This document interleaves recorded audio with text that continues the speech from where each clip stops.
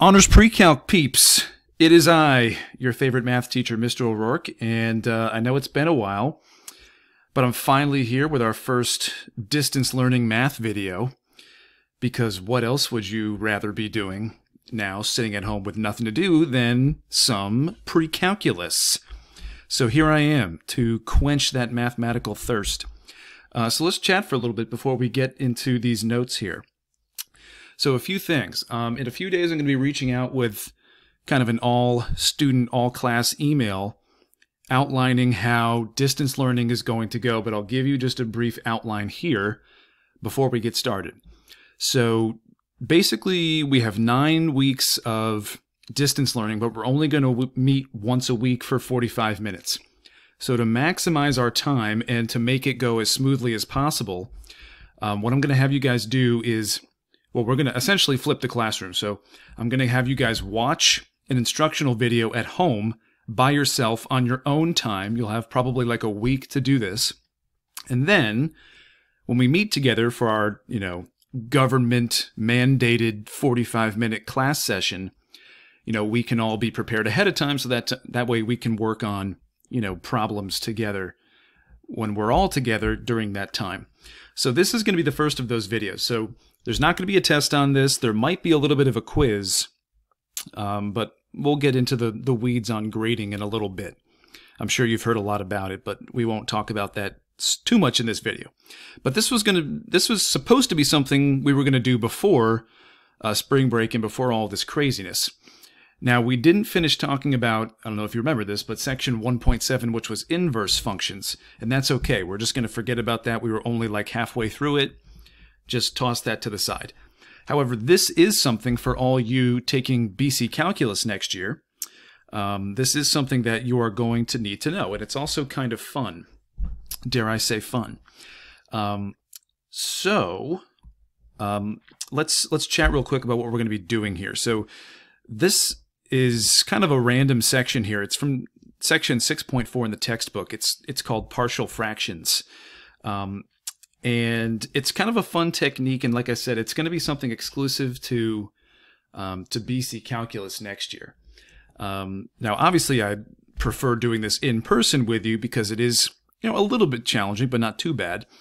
Um, but this is the next best thing. So hopefully you and you enjoy this.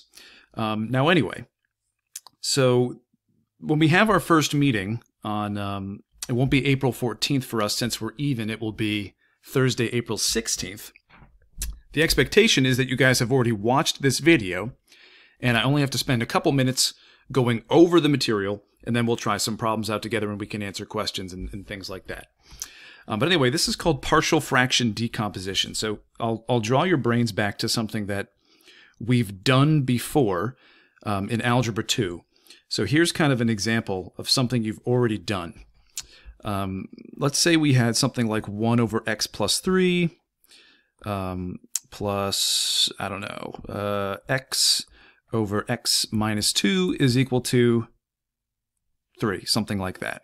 Mm, not even equal to 3. Let's just say we had that expression right there.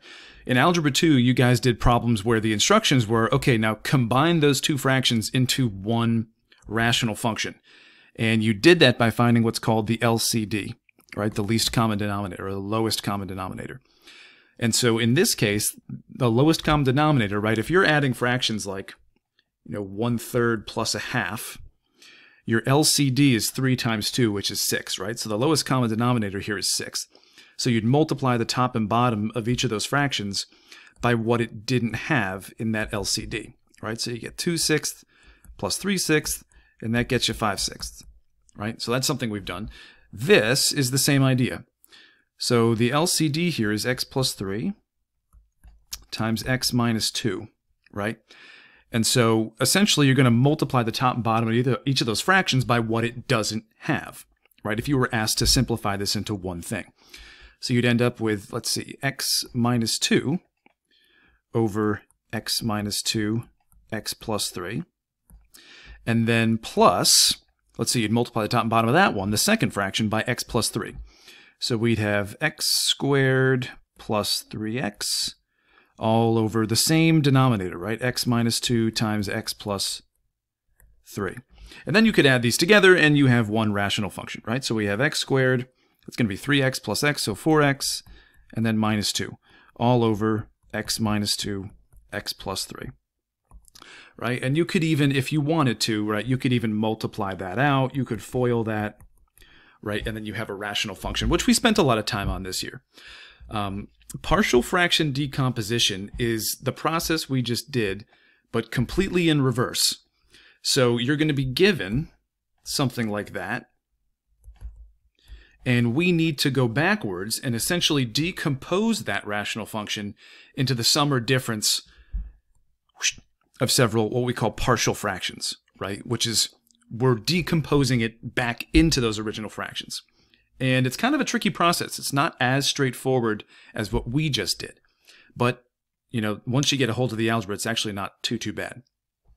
So ideally, uh, these blank notes are posted on Blackboard for your convenience. So you can download them, uh, print them off if you want to, follow along. Uh, I'm currently using a, a Microsoft Surface tablet with a pen, so I can edit the PDF just like we'd be doing kind of in class with the smartboard notes. So if you'd like to do the same, you could do that. Um, probably since you guys are you know pretty good students and you like to organize yourself maybe you'll want to print these out and annotate them or maybe you have your own notebook open and you're just writing your own notes like we're in class. With the added benefit of, you know, you can stop this video whenever you want to. And you can also use it as ASMR to fall asleep if you really want. The options are endless. Just make sure you smash that like button and subscribe. Okay, cool. Anyway, so 6.4 partial fractions. Um, we'll probably do an optional quiz or some sort of assessment on this um, a little bit after we do it. Nothing in the fourth quarter actually counts as a grade. You guys are going to receive a no grade for fourth quarter, but anything you do complete and do well on, we're supposed to take into account to potentially raise your overall final grade for the year. Okay, so it's in your best interest to still follow along with what we're doing, still try out whatever homework assignments we give you, and then try to do your best on the assessments um, at home.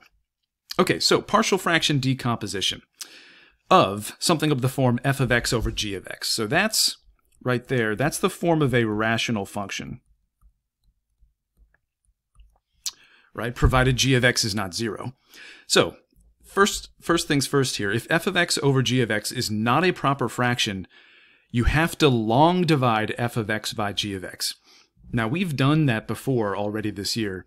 I'll refresh your brain how to do it once we get a little bit further into this. But if it's not proper, you have to long divide f of x by g of x. So what does it mean to be proper? Proper fractions, the degree of the numerator, let's just write this out. To be a proper fraction, the degree of the numerator has to be less, strictly less, than degree of the denominator. Okay, that's what it means to be proper. So before you can even do the process I'm about to get into, you have to make sure that your rational function is proper. If the degree of the numerator and denominator are the same, or the numerator is greater than the denominator, then you have to long divide them first, and we'll get into that a little bit later. Okay? So first, check if it's a proper fraction. Next, so that'd be step one. Step two, completely factor g of x, which is your denominator, into linear factors or quadratic factors. And the key here is you want them to be irreducible, right? So say, for example, you had something like x squared minus 4 in your denominator. That's not irreducible, right? That, in other words, can be reduced. You could factor that into x plus 2 times x minus 2. And those are both irreducible linear factors. Sometimes you'll get a quadratic factor that's irreducible. Like, for example, x squared plus 1 is irreducible. In that case, you just leave it as x squared plus 1. But like I said, more on that as we get into this. Okay, so first we're totally factoring our denominator, and then we're kind of breaking this up and setting up the problem. For each linear factor that we have, our decomposition has to include a term that looks like this. A is just a number. Okay? And the denominator is ax plus b. That's your factor from your denominator. So for each linear factor, you have to write a term out like this. So kind of the general rule of thumb, if your denominator is linear, your numerator has to be a constant.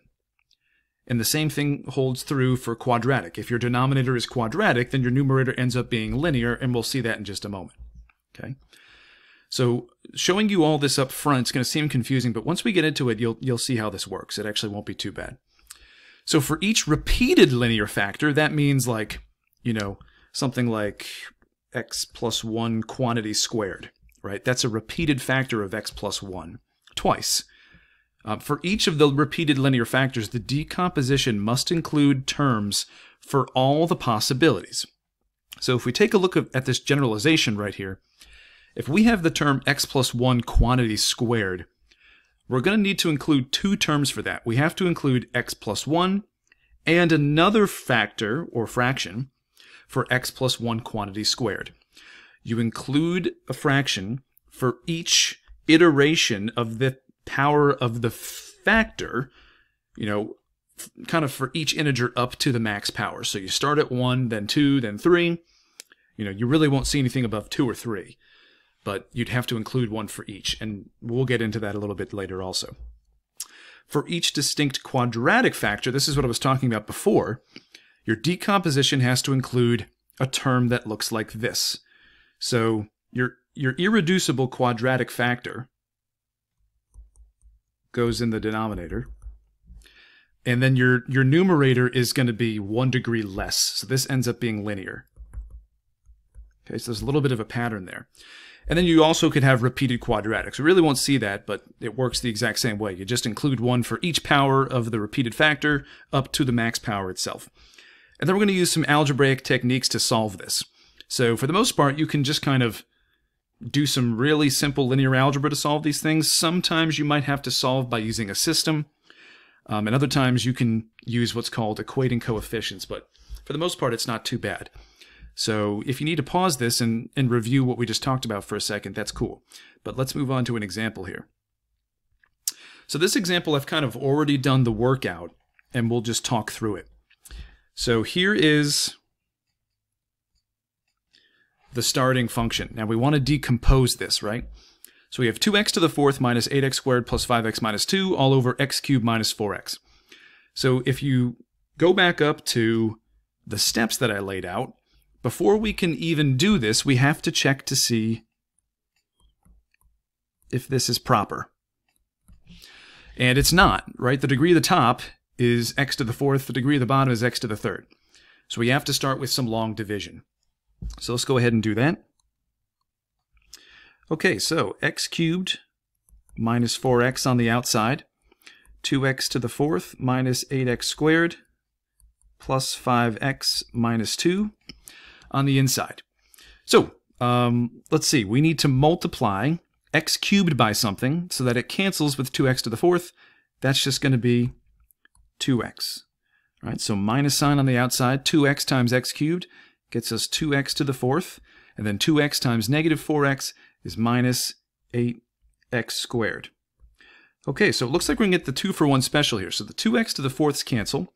Negative 8x squared plus 8x squared, those also go to 0. And we're left with 5x, bring that down, and then the minus 2. Okay, so we know we're done when the degree of our remainder is less than our divisor, right? So our divisor has a degree of x cubed. Our remainder right now has a max degree of x to the first, right? So we're done. So plus, and then we take our remainder, 5x minus 2, and that goes over our original divisor, which was x cubed minus 4x. And that gets us to step 2 down here. Okay, so we long divided, and now we're here. So the 2x is part of our answer, but it doesn't have to be included in our reduction. Our decomposition, we're going to decompose that. Okay, and that is proper. Hooray. So we can go ahead and, and go to the next step here. So the next step is to totally factor the denominator. So it's pretty easy to factor this. We can pull out an x, and we're left with x squared minus 4, and that factors into x minus 2 times x plus 2. So it factors into those factors right there. So we have three distinct linear factors. Okay, so now comes our decomposition, our setup, if you will. So for each of those distinct linear factors, we have to write it as its own fraction. We have to assume that at the very beginning, we had at most three fractions. Now sometimes one of these ends up being zero and it goes away. And if that's the case, that's fine, but we have to figure that out through algebra. So 5x minus 2 over x cubed minus 4x. That's going to decompose into something of the form a over x plus b over x minus 2 plus c over x plus 2. Okay, so for each of these linear factors right here, we wrote a fraction for it over on the right-hand side. Okay, so now our goal is to just do some basic algebra to solve for A, B, and C.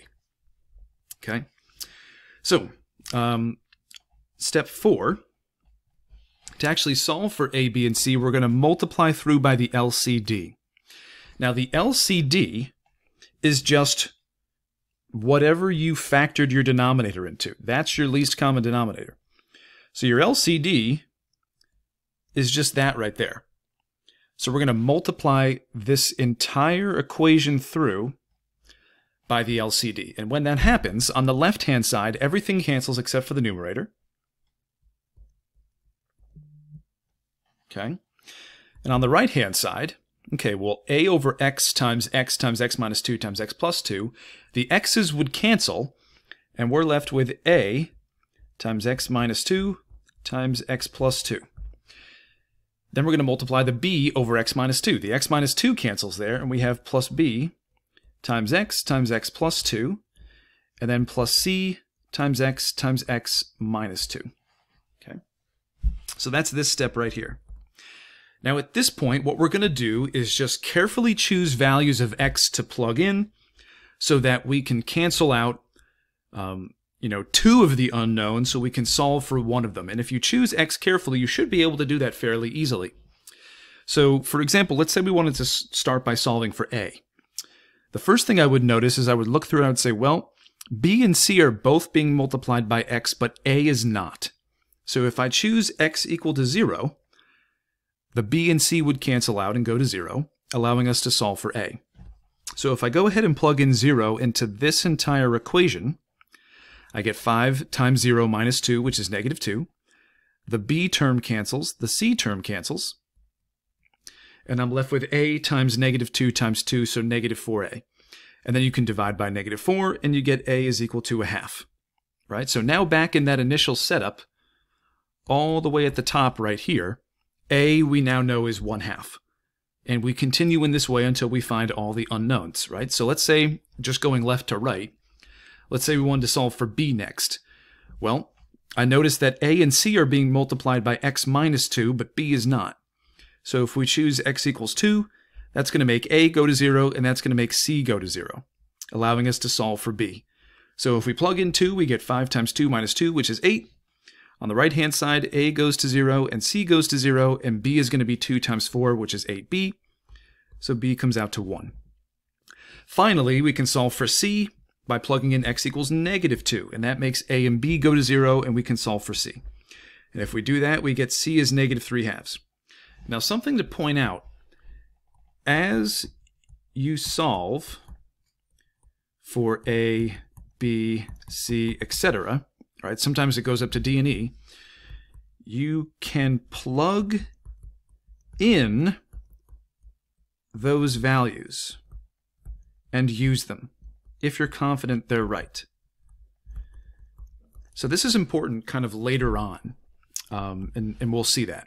Okay. So now the last thing to do is just to wrap this all up. Remember that 2x from the very beginning? We have to bring this guy back in. And then we have our decomposition for 5x minus 2 over x cubed minus 4x. So um, we're going to plug in 1 half for a, we're going to plug in 1 for b, and negative 3 halves for c, remembering that 2x from the very beginning.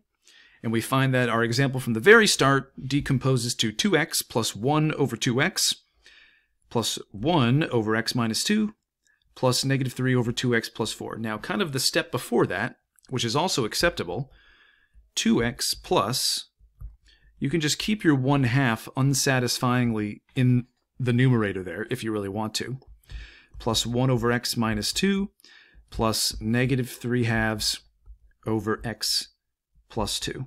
Okay, now that's also fine if you put your answer like that. Okay? So it's not exactly a hard process. It, it's definitely a time-consuming process. Okay? But again, our, our goal is to decompose our original rational function into partial fractions. And that's exactly what we have here. These are called partial fractions. Now, believe me when I say, when you get to the point where you need these in BC Calc, this is incredibly important and incredibly useful and makes problems that are impossible quite doable. All right? So that's the importance behind this. Let's go ahead and try out an example. Now, if you'd like to try this on your own, feel free to pause this video here and you can give it a shot. Um, otherwise, I'm just going to move forward with this. So let's try a repeated factor example together. So this is already proper. And it's already factored for us, which is great. So we can go ahead right with the setup here. So remember what I said before, right? So if I have a repeated linear factor, I have to make a fraction for each iteration of the power of that factor, starting with just to the first all the way up to the max power counting by 1. So we're going to set this up as a over x minus 1, that's to the first, right? plus b over x minus 1 squared plus c over x minus 1 cubed. Okay? So notice I have one fraction for each iteration of the power of that repeated factor fraction. Okay? Factor, excuse me. Now, some of these might end up going to zero, like I said before, um, or we might have all three um, fractions. But we have to make sure, right? So think about this. If I'm looking for the LCD, combining these things, it's going to be x minus 1 cubed. Now, that might mean that there is no x minus 1 squared. It might mean that there's no x minus 1. But we have to be absolutely sure. So the next step is just to multiply through by x minus 1 cubed. So the LCD, again, is x minus 1 cubed. Okay, so if we do that, it cancels, and it should do this every time. On the left side, totally cancels. We're left with 2x. Let's see. One of the x minus 1s will cancel here, and we have a times x minus 1 squared. Two of them will cancel on the next one, so plus b times x minus 1, and then just plus c. Okay, um, so at this point, let's see if we can work our way through this algebraically. Now, you're probably noticing right off the bat that this one's not going to be as easy to solve algebraically as the previous example, right? The one that we just did together, it was very clear what to plug in for x to get the other two quantities to cancel and go to zero, allowing us to isolate one and solve. Here, not so much, right? A and B are both being multiplied by x minus 1, C, however, is not being multiplied by anything. So if we start this off by using x equal to 1, we can actually solve for C. So for all you OCD people out there, right, who want to solve for A first and go left to right alphabetically, we actually can't do that here. And don't worry, it's bothering me too. So plugging in 1, we get 2 is equal to 0 plus 0 plus C. So C is equal to 2. Okay. So you'll notice at this point that it's not obvious what to plug in. In fact, you can't just plug in an x value to get b and c to cancel, allowing you to solve for a, or vice versa to solve for b. So at this point, we're going to proceed by using a system of equations. Now, we can actually plug in 2 for c at this point. Um, okay, so bear with me. Let's start by plugging in x is equal to 0. Okay. If I plug in 0, we get 0 on the left, and then we get negative 1 squared, so we get a, and then we get minus b, and that's going to be plus 2, right? We got the 2 is equal to c from before. Now, I want to, if you guys remember system of equations from Algebra 1 and Algebra 2, one of the ways you can solve them is by adding the two equations together. And that's what we're trying to do here. So I now want to pick an x value that either gets me negative a, which is not possible, right, because we're squaring that quantity, so that's never going to be negative, or gets me negative b. Sorry, or positive b, so we can cancel with the negative b we already have. If we pick x is equal to 2, we're going to get that, right? So if I plug in 2, I get 4 on the left, and then I'm going to get 2 minus 1, which is 1 squared, so we just get a again. When I plug 2 into b times x minus 1, I get plus b and then plus 2, right? That's our c value. So now, like I said, we're going to solve this by solve system by elimination. This is where these questions get a little bit wonky, but it's not that bad, right? So now we're just going to literally add these two equations together. So we get 4 is equal to 2a, the b's are going to cancel, plus 4. Okay? And so we end up with just a equal to 0. So the x to the first term actually isn't even going to be there, which is kind of cool, right? So now what we can do is we can take that a is equal to 0, plug it back in anywhere over in any of these equations, and just solve for b. So at this point we can go, okay, so if I choose x is equal to 0, um, I get 0 is equal to, now we know a is 0, minus b plus 2. So b is equal to 2 as well. Okay? So now we can plug them in, and we're done. So our final answer here, I, I kind of ran out of space, but I guess I'll go here. Okay, so our answer is going to be, we have 0 for a, so that term won't even be there. We have 2 over x minus 1 squared plus 2 over x minus 1 cubed. And that's our answer. Okay? Not bad. Now, there's a way you can get around this solving the system by elimination. We could use a method called equating coefficients, which I'll outline here right below. So equating coefficients is a really, really interesting algebraic technique. It's also super useful, um, especially for examples like this where the algebra gets a little bit dicey. Okay, so equating coefficients, here's how this works. The, the, the place where this deviates happens, I'll choose another color here, happens in this step. Okay, so for equating coefficients, instead of, at this point, plugging in different x values to solve, what we instead do is we multiply everything out.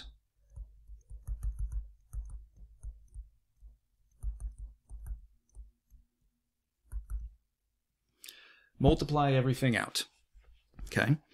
So what that means is, right, you would FOIL out x minus 1 squared, distribute the a through, um, distribute the b to the x minus 1, and then combine like terms afterwards, right? But this is the multiplication step. So we have 2x is equal to ax squared minus 2ax plus a plus bx minus b plus c. Okay. Remember, a, b, and c are just numbers. All right. So at this point, we're going to combine like terms. Well, the only x squared term I have is ax squared. So this is going to be x squared. The coefficient is a on that. Okay.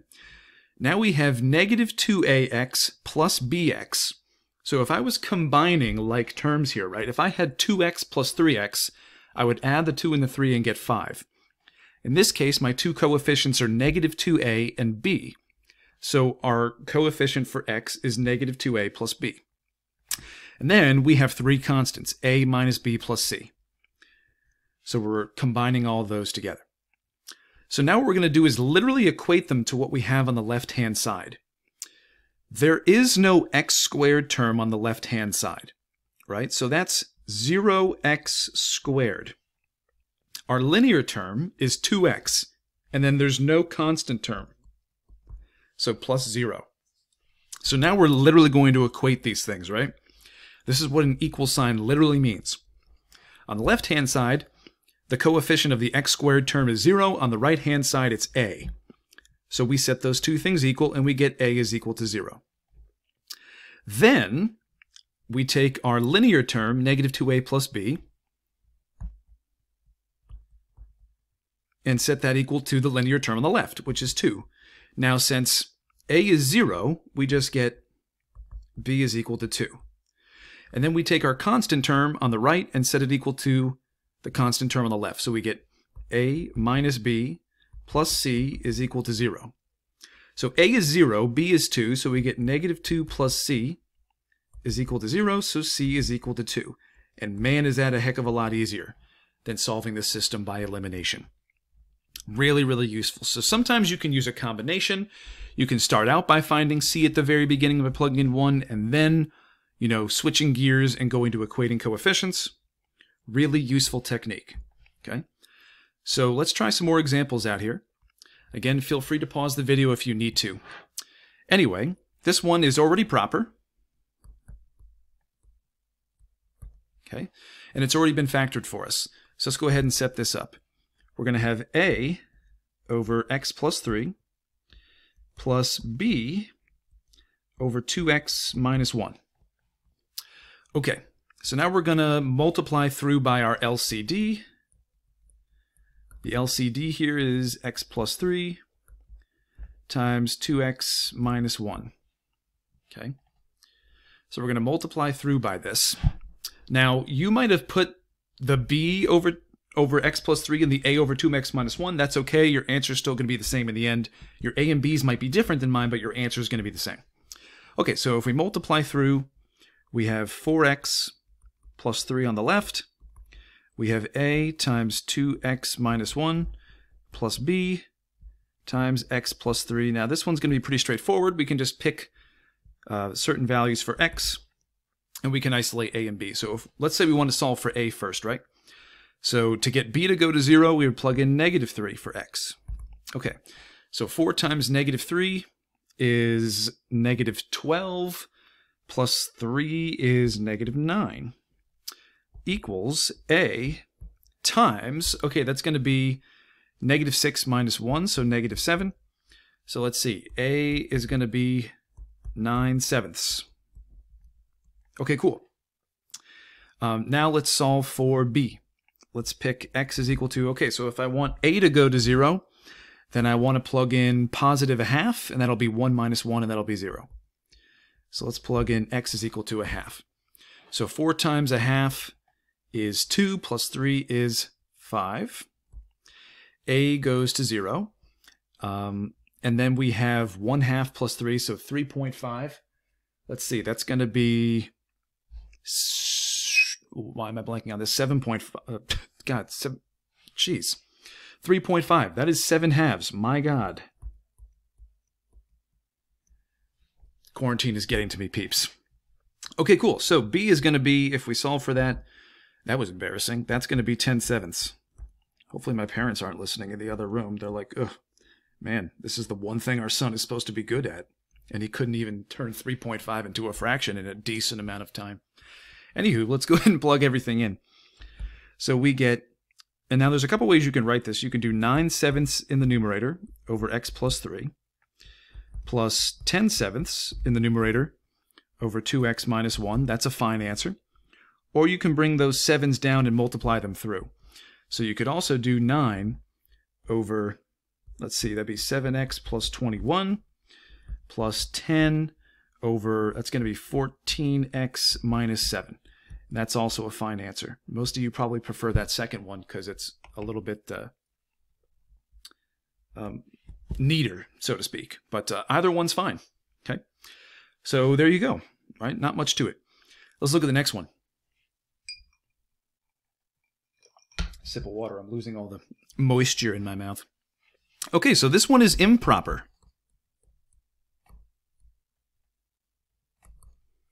To start, so we have to start with some long division.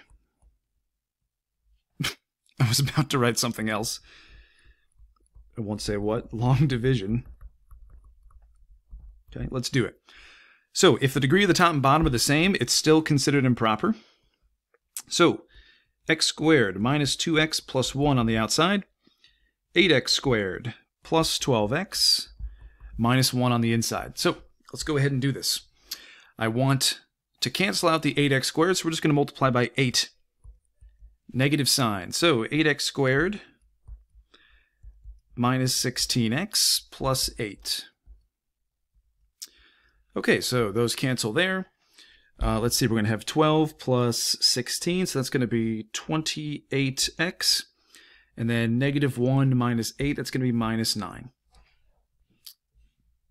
Okay, so the remainder at this point is 28x minus 9. So that degree is less than our original divisor of x squared minus 2x plus 1. So we're done long dividing. It was just one step, right? So now we can write our remainder. So we have 28x minus 9 over x squared minus 2x plus 1. Okay, uh, so if we come back over here, this is write what we have. So 8 plus 28x minus 9 over x squared minus 2x plus 1. Okay, so now we're going to go ahead and we're going to decompose this guy. The 8's going to stay there. We're going to need it at the very end, but we're just going to decompose this. All right.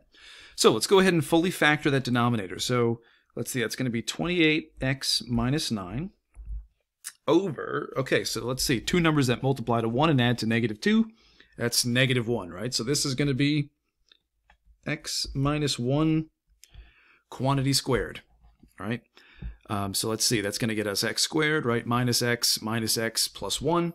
So we have a repeated linear factor here, all right? So we're going to do a over x minus 1 plus b over x minus 1 quantity squared.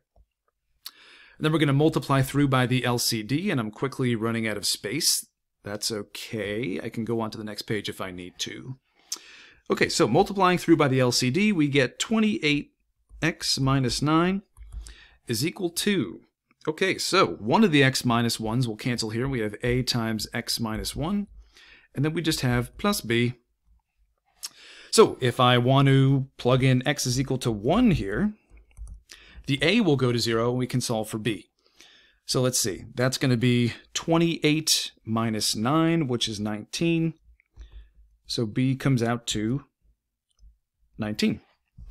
And then, now that we know b is 19, we can plug in literally any number we want to besides 1 to solve for a. So 0 is probably a good choice, right? So when x is equal to 0, we have negative 9 on the left, and then we have negative a, and we have plus 19. So, um, negative 9 minus 19 is negative 28. So negative 28 equals negative a, so a is equal to 28. All right. So our answer is going to be 28 over x minus 1 plus 19 over x minus 1 squared. And then we need that 8 from the very beginning plus 8. Y'all thought I would forget it, but I didn't. I defied the odds. So there you go. There's your answer. Okay. Um, kind of cool. So a um, few more examples here. Um, I want to show you this quadratic, and then uh, there's some more below that we can continue to practice on. All right. So this one, we're going to have a quadratic um, factor, and we can see that already. So this is proper.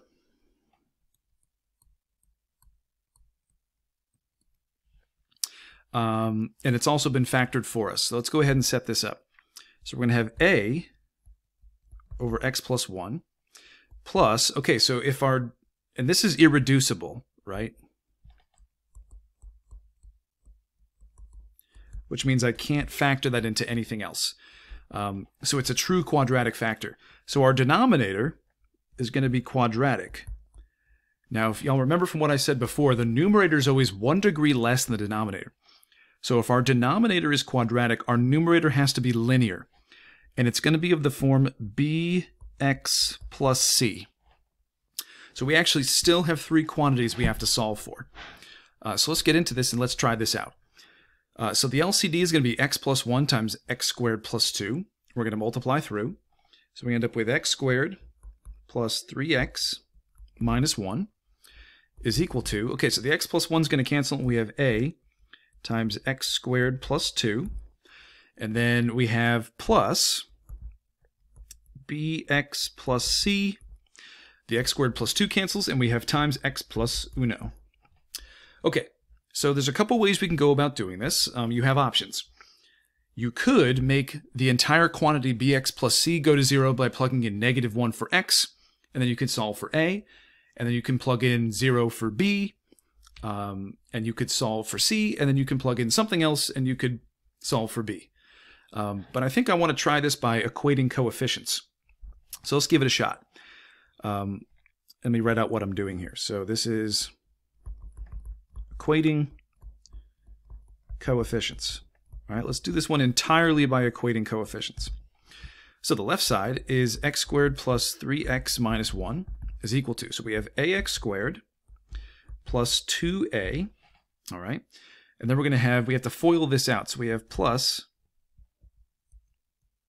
bx squared, and then plus bx plus cx plus c. Okay, so now we're going to combine some like terms, and we have x squared plus 3x minus 1. So um, we have an ax squared and a bx squared, so this is going to be a plus b as the coefficient of the x squared.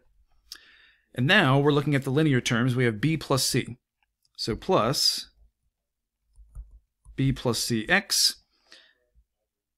And then we have 2a plus c, and that's going to be our constant term. Okay. So um, now we're going to take each of the quantities on the right and make an equation out of the coefficient on the left. So the coefficient on the left of the x squared is 1, so we have a plus b is equal to 1. And then we also have b plus c is equal to 3, right? So here's our a plus b is equal to that 1 right there. Our b plus c is equal to that 3. And then our 2a plus c is going to be equal to the negative 1, right? So we have 2a plus c is equal to negative 1. So now we're left with a system of equations again. Um, so at this point, we want to kind of combine these so that something cancels. Um, or we can solve by substitution so that one equation is entirely in terms of um, A, B, or C. So um, let's get that middle one, or rather, eh, yeah, let's get this right one all in terms of B. So let's solve um, let's solve this for A. So A is equal to negative B plus 1. And if we solve this, we get C is equal to negative B plus 3. So we can go ahead and plug both of those into here. So we have 2 times negative B plus 1. And then we have um, plus negative b plus 3 is equal to negative 1. So solving this, we have negative 2b plus 2 minus b plus 3 is equal to negative 1.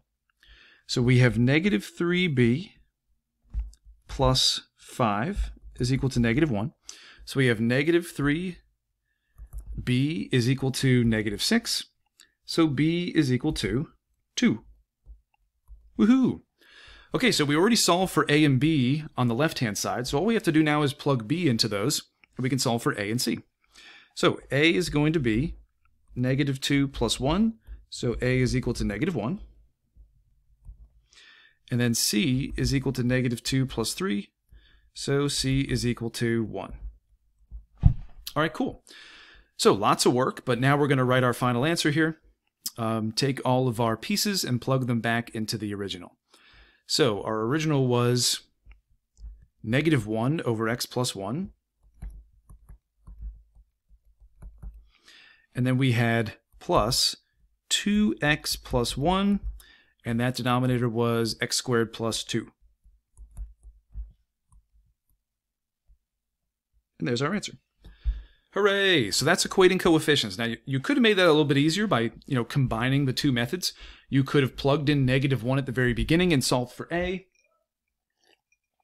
And that would have made, you know, the equating coefficient step a little bit easier. But um, it's also nice to just kind of take a step back and admire your work a little bit. Um, really nice stuff there. Okay. So if you have questions, make sure you make a note of it. I can answer it when we meet virtually um, on the 16th. Anyway, here's some extra examples. Feel free to pause right now and try them on your own. But uh, one thing I do want to talk about here, and this video is getting a little bit long, so I'm, I think I'm just going to do the first one here. Eh, I'll do both. Um, this is uh, proper here, so we can go ahead and just kind of start the problem, and we'll start by factoring. So we have x squared plus 4 in the numerator, and the bottom is going to factor into x squared minus 1, x squared plus 1. Okay, so the x squared plus 1 is irreducible, but the x squared minus 1 still factors. So we have x squared plus 4 over, this is going to be x minus 1 times x plus 1 times x squared plus 1. Okay, so this one's going to be a little bit of a doozy. This one's going to have four um, values we need to solve for we have a over x minus 1 plus b over x plus 1 plus, and then we have a quadratic, so plus cx plus d over x squared plus 1. Okay, so multiplying through by the LCD, we end up with x squared plus 4 is equal to. All right, so the x minus 1 cancels with the, the a over x minus 1 term, and we're left with a times x plus 1 times x squared plus 1. And then plus the x plus 1 is going to cancel here, so x minus 1 times x squared plus 1. And the x squared plus 1 term totally cancels, and we have plus cx plus d times x minus 1 times x plus 1. Okay, so um, ways that we can kind of figure this out. Try to plug in values of x from the very beginning that make certain things cancel and allow you to solve for others. If we choose x is equal to 1, the cx plus d term will go to 0, and the b will go to 0, and we can solve for a. So let's start with that. When x is equal to 1, we get 5 on the left, we're going to have a times 2 times 2 plus 0 plus 0. So we have 5 is equal to 4a. So a is equal to 5 fourths. Okay, so we have one of the values done. Um, I'm going to get rid of those plus zeros there. They're in the way. Okay, so we have a is equal to 5 fourths. Using the same process, we can also isolate b by multiplying um, or by plugging in rather, x equals negative 1. And that's going to make the a and the cx plus d both go to 0. So again, we're going to have 5 on the left, and then we're going to have b times negative 2 times 2. So that's going to be 5 is equal to negative 4b. So b is equal to negative 5 fourths. Okay, so we got two of them out of the way. Let's see. Now that we know that A is 5 fourths and B is negative 5 fourths, we can actually still do this in this method. Um, we can make C go to 0 by plugging in 0 for X, allowing us to solve for D. Now this is going to get a little bit messy. So when X is equal to 0, we have 4 on the left. We have 5 fourths, right? So that's what A is times 1 times 1. So we have 5 fourths. And then we're going to have, let's see, then we're going to have negative 5 fourths for B times negative 1. And that's going to be plus another 5 fourths.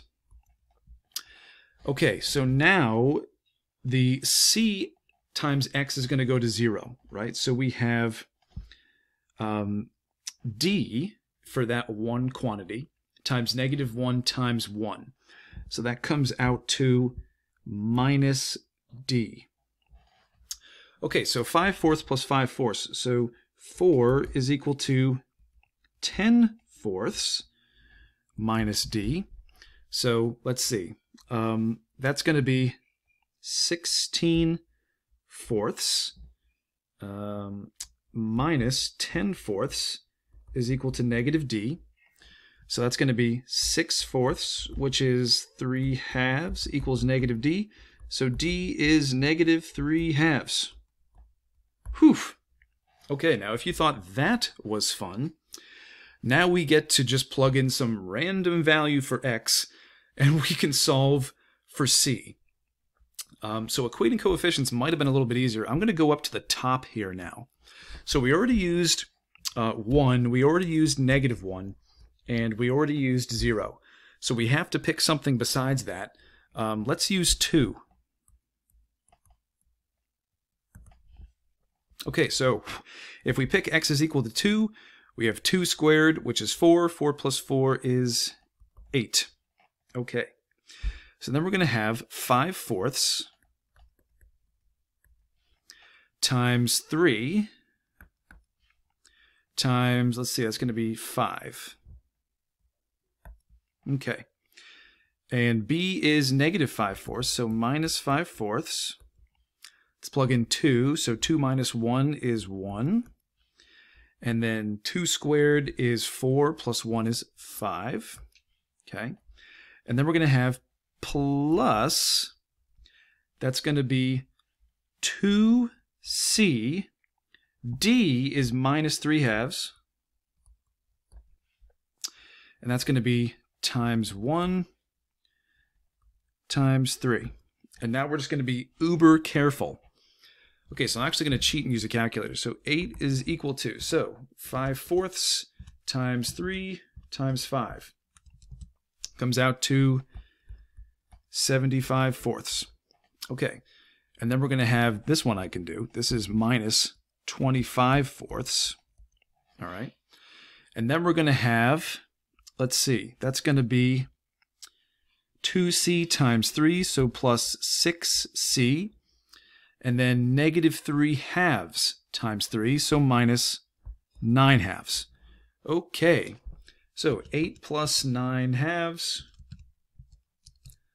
gets us 25 halves on the left. Let's see, this is going to be 50 fourths plus 6c. Okay, so 25 halves minus 50 fourths comes out to, wouldn't you know it, that comes out to 0. So we get 0 equals 6c so C after all that is just equal to zero. Totally cool. Now we'll come back and write our answer. And I have inevitably run out of space. So let's see if I can squeeze it. So here's our answer. Okay. A is 5 fourths. So we have 5 fourths over x minus 1. And then minus 5 fourths over x plus 1 Remember, c was 0, so now we just have minus 3 halves over x squared plus 1. And that's our answer. What a great problem. Okay. And now for the last one here, and then this video hopefully will be less than an hour long, but it is what it is. So this one is improper, so we have to start with, let's kind of break this up. We have to start this one with some long division. So let's go ahead and do that off to the side. So, long division. x to the fourth plus x squared. On the inside, we're going to have 3x to the sixth plus 3x to the fourth plus 3x. Okay, so uh, let's see. Let's multiply by 3x squared. That's a 2. So we have minus 3x to the sixth. That's going to be plus 3x to the fourth. Okay, so those cancel, those cancel, and we're left with a 3x here. So this one actually is not too bad. Now we have plus 3x over x to the fourth plus x squared. Okay, so let's write that over here. 3x squared plus 3x over x to the fourth plus x squared. So now we're just going to decompose this guy right here. So let's go ahead and do that. Factoring the denominator, we can pull out an x squared. And if we do that, we're left with x squared plus 1. Okay, so the question here is, is x squared quadratic, or is it a repeated linear? Well, this is actually reducible here, right? x squared is reducible into x times x. So this is actually a repeated linear. Super important to recognize that. Okay, so this comes out to a over x plus b over x squared. It's a repeated linear plus cx plus d over x squared plus 1. Okay? Alrighty. So uh, let's go ahead and we'll multiply through by um, the LCD. So we get 3 is equal to, let's see, that's going to be a times x times x squared plus 1. That's going to be plus b times x squared plus 1. And that's going to be plus cx plus d times x squared. Okie dokes. So if I pick um, x is equal to 0, that's going to make um, everything go to 0. Oh no, I can solve for I can solve for b that way. So if we pick x is equal to 0, I'm going to get 3 is equal to a goes to 0. I get b and then the cx plus d also goes to 0. So b is equal to 3. Okay, and at this point, we have reached the limit of what we can do. Um, so we can proceed by equating coefficients. So we'll say 3 is equal to, and now we're just going to kind of multiply everything out. So we have ax cubed, okay, plus ax. We already know b is 3, so we have plus 3x squared plus 3. And then we go then we have plus cx cubed plus dx squared. So now we're going to go ahead and equate all of our coefficients. Um, but let's go ahead and combine some like terms first. So 3 is equal to, so we have two x cubed terms. We have a plus c x cubed. And then we have, for the x squareds, a 3 and a d. So we have plus 3 plus, whoops, 3 plus d x squared. Um, just ax, so plus ax, and we can put that in parentheses as well. And then let's see, the only constant term we have here is 3. Cool. Okay, so again, I have run out of space. I can't just extend the page um, like I did, like I could on Smartboard. Uh, let's see if I can fit this in. This might be a disaster, but um, we'll see what happens. Okay, so we have um, A plus C is equal to 0, right? On the left-hand side, the x cubed has a coefficient of 0. We have 3 plus d is equal to 0. The coefficient of x squared is 0. We have a is equal to 0, so we have that term now. And then we have 3 is equal to 3, which makes sense, right? Now, if we didn't actually plug that in from the beginning to solve for b, we could have done it really easily right here. Okay? So now we know a is 0, which means c is also 0. And if we solve for d, we get d is negative 3. So actually, a lot of the stuff ends up canceling here. And um, now we'll come back and uh, we'll write our answer. Okay, so let's see. Uh, let me squeeze it in here. Answer. First things first, the 3x from the very beginning. 3x squared. So 3x squared. Okay, so the a over x term is going to go to 0. And we have plus 3 for b over x squared. c is also 0, so we have just minus 3 over x squared plus 1. And that is our answer. That's the end of our notes. That's a John O'Rourke Ridge. Let me go ahead and sign those bad boys. Woohoo. Okay, cool. So, hour long video, kind of a long video, but um, you guys can break it up as you need to. You can start and stop um, as long as you have watched it by the time we meet on Thursday, April 14th, or April 13th, rather. Then we can discuss these things together and go over some stuff and maybe even try a few problems together. All right? So, hope you enjoyed the video. Hope you guys are staying safe. Hope you guys are keeping busy. Um, yeah, that's all I got for you. Peace till next time.